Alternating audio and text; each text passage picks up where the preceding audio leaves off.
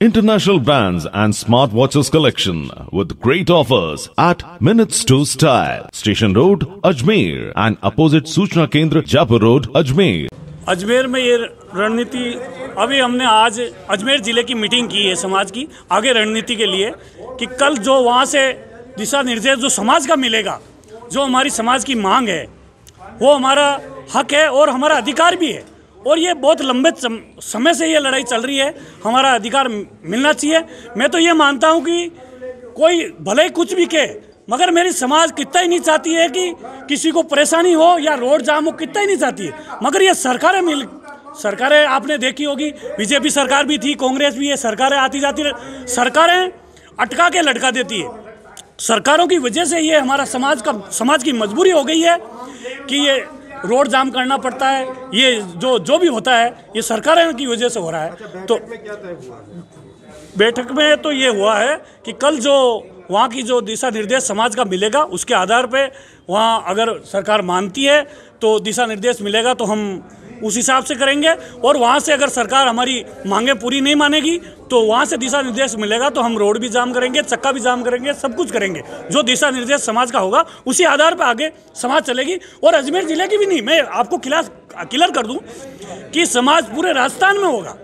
केवल एक अजमेर जिला नहीं, पूरे राजस्थान में होगा और समाज इस आरक्षण के मुद्दे बिल्कुल कतई कुछ नहीं है। एक है, चाहे वो किसी भी पार्टी का हो, किसी भी हो बाकी आरक्षण के मुद्दे पे पूरी समाज गुजर समाज बिल्कुल एक है। और अखिल भारतीय गुजर अध्यक्ष हरचंद खटाना स्वयंभोज मंदिर पुष्कर।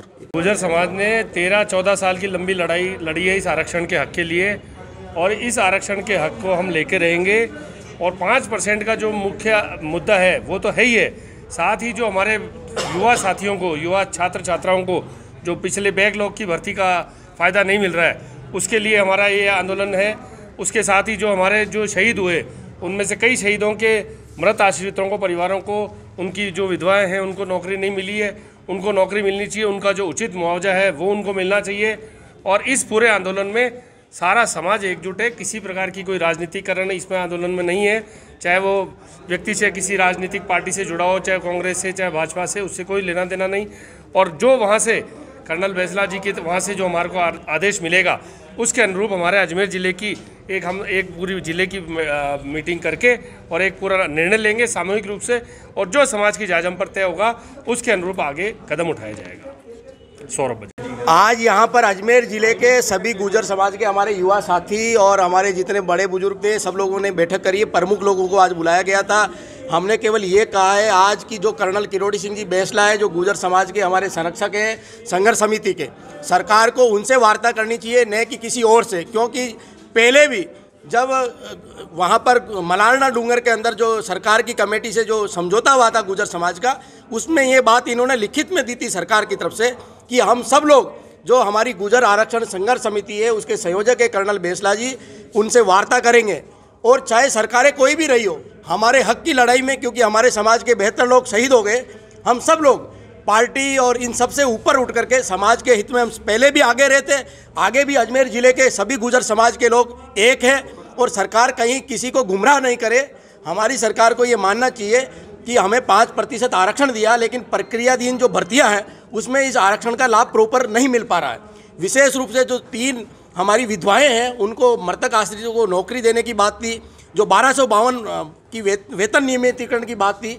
इसके अलावा जो हमारे, जो बेकलॉग की बात थी देवनारायण स्कूटी योजना, जो लंबे समय से वो ठंडे बस्ते में पड़ी है, इनका प्रॉपर लाभ लाभ हमारे गुजर समाज के भाइयों को मिलना चाहिए।